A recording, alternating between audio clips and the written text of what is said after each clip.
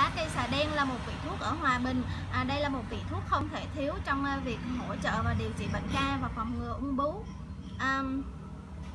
à, vậy lá xà đen là có tác dụng là chữa các bệnh như là mất ngủ, men gan cao, viêm gan, sơ gan, à, bệnh viêm nhiễm, tiêu hạch, tiêu độc, thanh nhiệt, mát gan, điều hòa hoạt huyết, à, giúp giảm đau, tăng cường sức khỏe và sức đề kháng cho cơ thể, à, điều trị mụn nhọt, ung thủng, tiêu viêm, giải độc, giảm tiết dịch trong sơ gan cổ trướng, đặc biệt trong việc hỗ trợ phòng ngừa ung bú.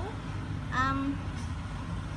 liều dùng ờ, cây xả đen như sau. À, với xả đen thì bạn rửa, ờ, dùng 50g xả đen rửa sạch rồi cho vào một lít rưỡi nước à, đun sôi từ 10 đến 15 phút rồi chắc nước lấy lấy nước uống hàng ngày. À, mùa hè bạn có thể chắc nước xả đen để trong tủ lạnh uống rất thơm và mát.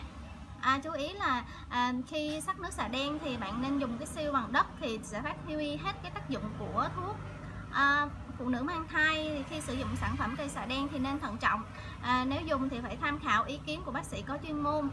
à, không nên ăn rau muống trong suốt cái quá trình mà bạn đang dùng à, cây xạ đen vì rau muống sẽ làm mất tác dụng của thuốc À, để biết thêm chi tiết à, về cây xạ đen thì bạn có thể liên hệ với cửa hàng trà Thảo Dược Đức Thịnh ở địa chỉ là 290 Thoại Ngọc Hầu, quận Tân Phú hoặc bạn gọi vào số là 0904 079 719 để được nhân viên tư vấn và giao hàng tận nơi ạ. À.